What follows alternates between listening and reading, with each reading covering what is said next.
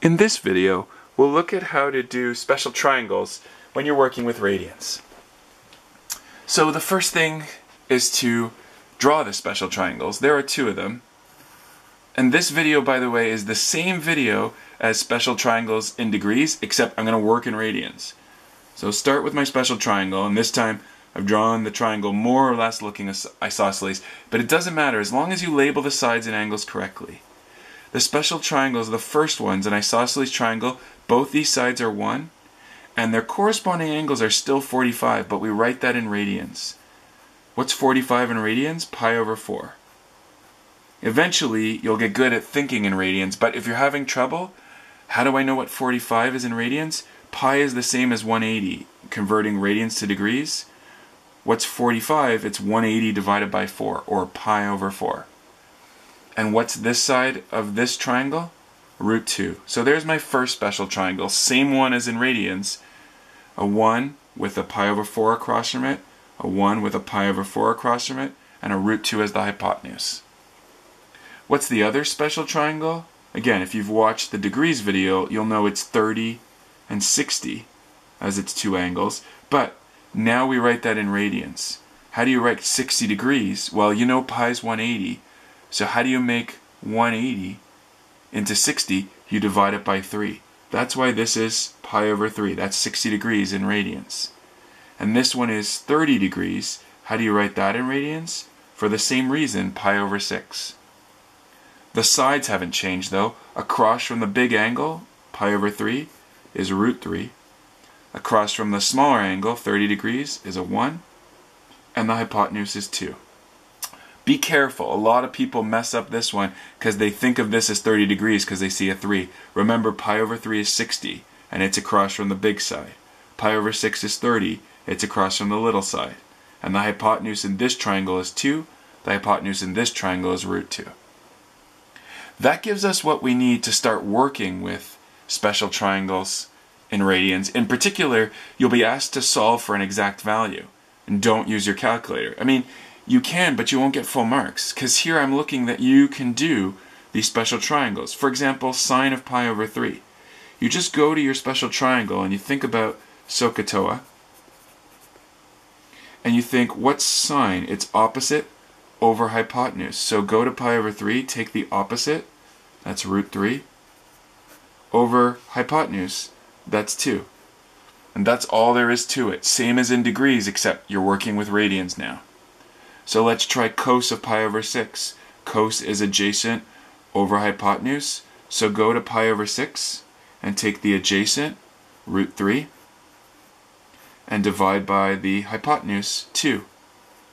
And you'll notice just like before, when you do sine pi over 3, you get the same as cos pi over 6, because you're switching sides and you're switching angles. Let's look at tan of pi over 4 go to either of the 10 pi over 4s. They're both pi over 4 in this triangle. What's opposite? 1. What's adjacent? 1. Could have picked this one. What's opposite? What's adjacent? You still get 1 over 1. And if you get 1 over 1, please reduce that to a 1.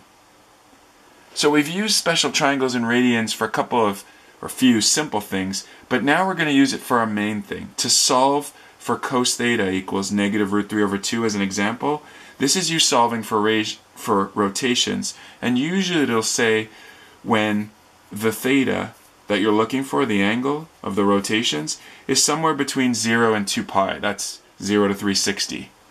That means there's going to be two possible answers. So let's sketch. Always starts with a sketch. Make sure to put your arrows, label your x and y, and also label your initial arm.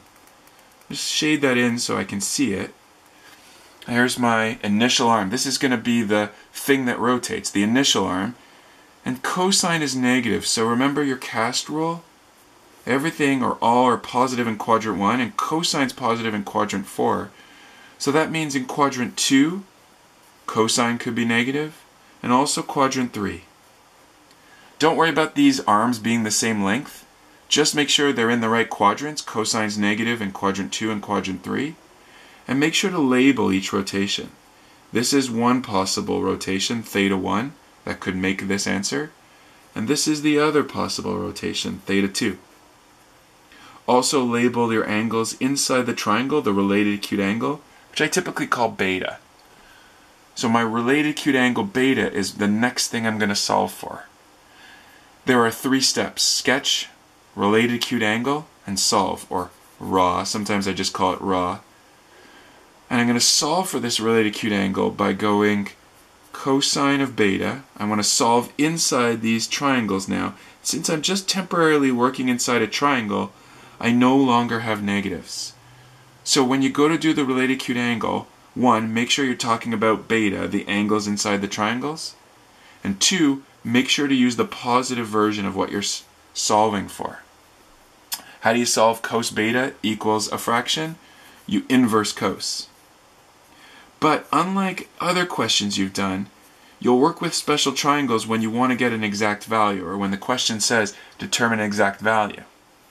How do you determine an exact value? Instead of going to your calculator, you go to a special triangle, in this case the one with root 3 over 2, and look which angle produces a root 3 over 2. Well, if I picked pi over 3 and I'm doing cosine, pi over 3 would give a cosine of 1 over 2, so that's the wrong angle. It has to be this one. How do I know? Because cosine is adjacent over hypotenuse, and this angle, pi over 6, gives adjacent over hypotenuse of root 3 over 2. So the related acute angle is pi over 6. Same as in the special triangles and radians, uh, same as in special triangles and degrees videos, but now we're in radian. So now solve for theta 1. I'm going to separate my work here with a nice line showing this is separate. I solved inside the triangle. Now I'm going to solve the rotation, theta 1. From here, halfway around a circle is a rotation of 180 degrees, or you know it now in radians as pi. So we're going to go pi and then come back, whatever this beta was, pi over 6, to get this theta 1. Again, it's this much, which is 180 or pi. Take away the beta. So I'm going to write pi minus pi over 6. And now check your numeracy skills. That means theta 1 is, let's make a common denominator. This would be 6 pi out of 6 minus pi out of 6. So theta 1 equals 5 pi over 6. That's our first rotation. And you could try this on a calculator. If you are in radians and punch in what's cos of 5 pi over 6, you'll get the same thing as negative root 3 over 2. But we have another answer, that theta 2. Theta 2 is in quadrant 3. Quadrant 3 is a rotation of pi plus whatever beta is. It's always the same formula. In quadrant 3, it's pi plus whatever your related acute angle is. Once again, we get a common denominator, which is out of 6 and you know what it's going to be because we just did it. Same common denominator. Make pi out of 6, it's 6 pi out of 6, which still give you pi. And so when you add up 6 pi over 6 plus pi over 6, you get 7 pi over 6. Don't have to box it, I just like it. Helps see the answer. And so what have we done? We've solved using special triangles by doing sketch the rotation, find the related acute angle, and solve both possible rotations. And that's special triangles and radians. We drew both of them, we did some simple questions, and then we solved rotations.